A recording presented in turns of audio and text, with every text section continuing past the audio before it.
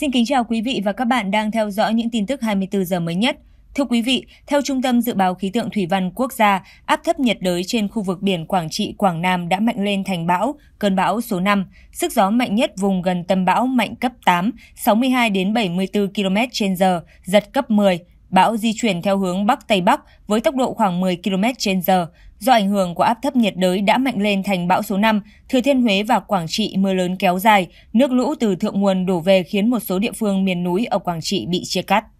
Bão số 5 có hướng đi rất dị thường, diễn biến phức tạp. Vào 13 giờ chiều ngày 18 tháng 10, tâm bão trên vùng biển phía nam đảo Hải Nam Trung Quốc, cách đất liền khu vực Quảng Trị Thừa Thiên Huế khoảng 200 km về phía đông đông bắc với tốc độ khoảng 10 km/h.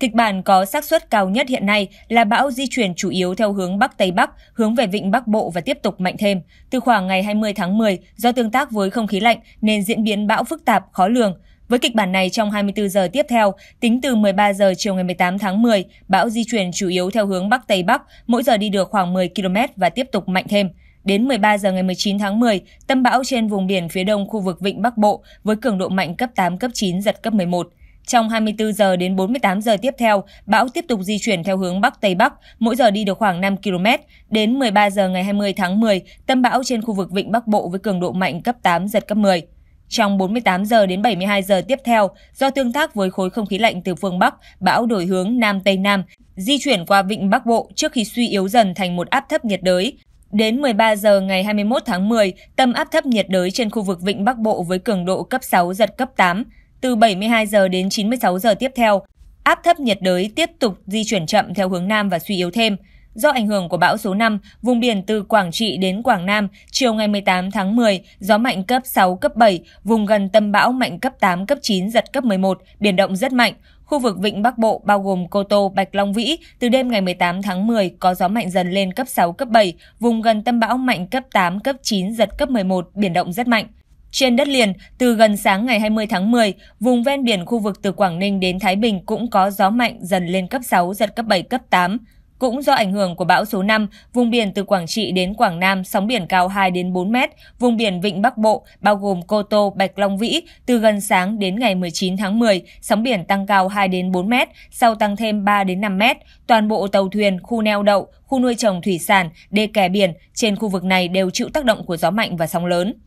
Chiều ngày 18 tháng 10, Ban Chỉ huy Phòng chống thiên tai và tìm kiếm cứu nạn tỉnh Thừa Thiên Huế cho biết, để ứng phó với đợt mưa lũ kéo dài nhiều ngày qua, đơn vị đã phát lệnh yêu cầu một số hồ thủy điện, hồ thủy lợi trên địa bàn tiếp tục thực hiện điều tiết nước. Cụ thể, đơn vị này đã thực hiện lệnh vận hành điều tiết hồ chứa thủy điện Hương Điền, thượng nguồn sông Bồ, qua tràn và tua bin với lưu lượng tăng dần, tránh đột biến để duy trì lưu lượng khoảng từ 1.100 đến 2.000 mét khối trên giây. Cùng ngày, Ban Chỉ huy Phòng chống thiên tai và tìm kiếm cứu nạn tỉnh cũng ra lệnh vận hành điều tiết nước hồ chứa tả trạch qua tràn và tua bin với lưu lượng tăng dần, tránh đột biến khoảng từ 400 đến 900 mét khối trên giây. Thời gian bắt đầu tăng dần lưu lượng từ 10 giờ ngày 18 tháng 10. Trước đó vào chiều ngày 17 tháng 10, Hồ Thủy Điện Bình Điền cũng được lệnh điều tiết nước qua tràn và tua bin với lưu lượng tăng dần, tránh đột biến khoảng từ 70 đến 200 mét khối trên giây, điều chỉnh vận hành tùy theo tình hình lưu lượng thực tế đến hồ. Cơ quan chức năng cũng đưa ra cảnh báo, trong ngày 18 tháng 10, mực nước trên sông Bồ sẽ tiếp tục lên và có thể đạt báo động 3 là cộng 4,5 m, đỉnh lũ lịch sử năm 2020 là cộng 5,24 m, năm 1999 là 5,18 m. Sông Hương có thể đạt báo động 2 là cộng 2 m, đỉnh lũ năm 2020 là cộng 17 m, năm 1999 là cộng 5,81 m. Mưa lớn đã làm cho một số tuyến đường trên địa bàn huyện Phong Điền bị ngập, trong đó quốc lộ 49B đoạn qua xã Phong Hòa, Phong Bình, một số đoạn nước băng đường ngập khoảng 0,1 đến 0,3 m, một số tuyến đường liên thôn có nước ngập sâu khoảng 0,2 đến 0,3 m, còn các đường tỉnh lộ liên xã cũng bị ngập từ 0,2 đến 0,5 m. Ngoài ra tại tuyến đường Hồ Chí Minh, đoạn qua xã A Roàng, huyện A Lưới, tỉnh Thừa Thiên Huế bị sạt lở nghiêm trọng tại km 392 hướng đi Quảng Nam, làm ách tắc giao thông. Hiện các cơ quan chức năng đang phối hợp cảnh báo, khắc phục tình trạng sạt lở, điều tiết đảm bảo an toàn giao thông. Để đảm bảo an toàn cho thầy cô và học sinh, trưa ngày 18 tháng 10, Sở Giáo dục và Đào tạo tỉnh Thừa Thiên Huế cũng phát thông báo gửi các cơ sở giáo dục trên địa bàn cho học sinh nghỉ học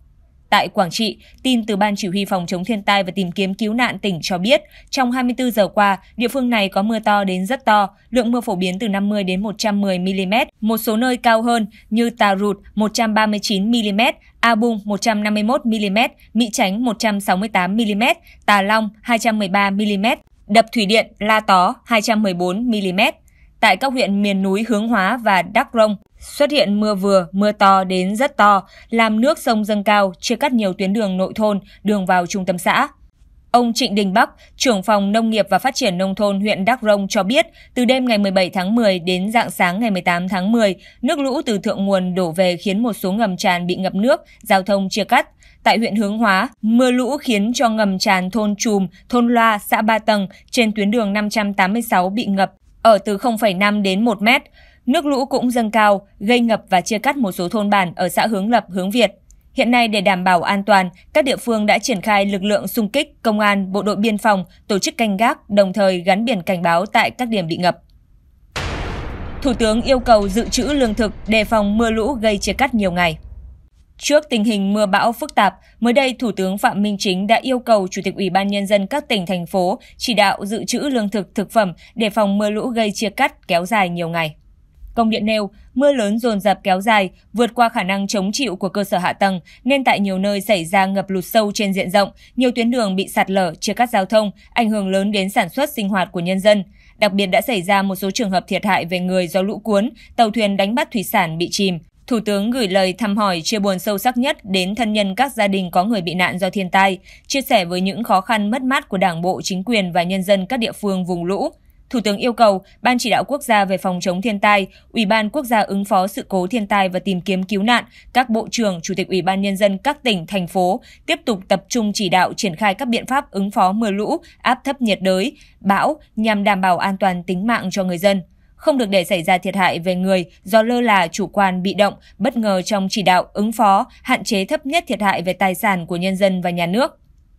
Người đứng đầu chính phủ yêu cầu Chủ tịch Ủy ban Nhân dân các tỉnh, thành phố tập trung kêu gọi hướng dẫn tàu thuyền, phương tiện còn hoạt động trên biển ra khỏi khu vực nguy hiểm hoặc về nơi tránh trú, triển khai các biện pháp đảm bảo an toàn cho người, tàu thuyền, phương tiện hoạt động trên biển, ven biển và tại nơi tránh trú. Tiếp tục giả soát, kiên quyết tổ chức sơ tán các hộ dân ở khu vực nguy hiểm để đảm bảo an toàn cho tính mạng người dân, nhất là các hộ dân tại khu vực bị ngập sâu, có nguy cơ xảy ra sạt lở đất, lũ quét. Công điện nêu rõ, chỉ đạo dự trữ lương thực thực phẩm để phòng mưa lũ gây chia cắt kéo dài nhiều ngày, chủ động đảm bảo nguồn cung lương thực thực phẩm nhu yếu phẩm cho người dân tại các vùng bị ngập lụt, vùng có nguy cơ bị chia cắt kéo dài. Bên cạnh đó, lãnh đạo các địa phương cần kịp thời tổ chức cứu trợ lương thực, nhu yếu phẩm cho các hộ khó khăn, hộ có nguy cơ thiếu đói, nhất là các hộ phải sơ tán, hộ ở nơi ngập sâu, không được để người dân bị đói, bị rét. Chỉ đạo bố trí lực lượng canh gác, kiểm soát chặt chẽ, hướng dẫn đảm bảo an toàn giao thông qua các ngầm tràn, khu vực bị sạt lở hoặc có nguy cơ sạt lở, khu vực bị ngập sâu, nước chảy xiết,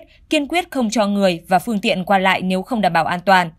chỉ đạo triển khai các biện pháp cần thiết nhằm đảm bảo an toàn hồ đập, đê điều, hạn chế thiệt hại đối với các công trình cơ sở hạ tầng, nhất là công trình y tế, giáo dục, giao thông, thủy lợi, cũng là một trong những nhiệm vụ Thủ tướng đặc biệt lưu ý. Ngoài ra, Chủ tịch Ủy ban Nhân dân các tỉnh, thành phố tổ chức thăm hỏi động viên, hỗ trợ gia đình bị thiệt hại, nhất là những gia đình có người bị chết, mất tích, huy động các lực lượng hỗ trợ người dân sửa chữa nhà ở, dọn dẹp vệ sinh môi trường, khôi phục các tuyến giao thông, công trình hạ tầng thiết yếu và sản xuất ngay sau thiên tai. Người đứng đầu chính phủ giao Bộ Tài nguyên và Môi trường tiếp tục chỉ đạo theo dõi chặt chẽ diễn biến mưa lũ, áp thấp nhiệt đới, bão, dự báo thông tin kịp thời cho cơ quan chức năng và người dân biết để chủ động chỉ đạo triển khai công tác ứng phó. Bộ Quốc phòng, Bộ Công an chỉ đạo các đơn vị liên quan và lực lượng vũ trang đóng trên các địa bàn phối hợp chặt chẽ với các địa phương, chủ động bố trí lực lượng phương tiện hỗ trợ sơ tán, di rời dân cư ra khỏi khu vực nguy hiểm, tổ chức cứu hộ, cứu nạn, khắc phục hậu quả khi có yêu cầu của địa phương. Bộ Giáo dục và Đào tạo tiếp tục phối hợp với địa phương, theo dõi sát sao tình hình thiên tai, chỉ đạo công tác đảm bảo an toàn cho học sinh, giáo viên,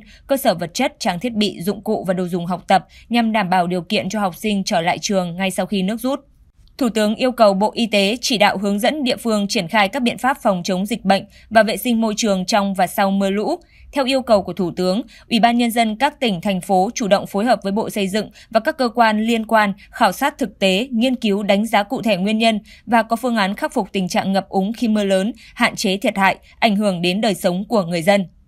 Thưa quý vị, bão số 5 có hướng di chuyển rất dị thường và diễn biến phức tạp. Hiện Trung tâm Khí tượng Thủy văn Quốc gia đang theo dõi chặt chẽ đường đi cơn bão này. Bên cạnh đó, người dân cũng cần chủ động theo dõi tình hình thời tiết, thường xuyên triển khai các biện pháp ứng phó kịp thời. Những thông tin mới nhất liên quan đến cơn bão số 5 sẽ được chúng tôi tiếp tục cập nhật trong những video tiếp theo. Còn bây giờ xin kính chào và hẹn gặp quý vị trong những video tiếp theo.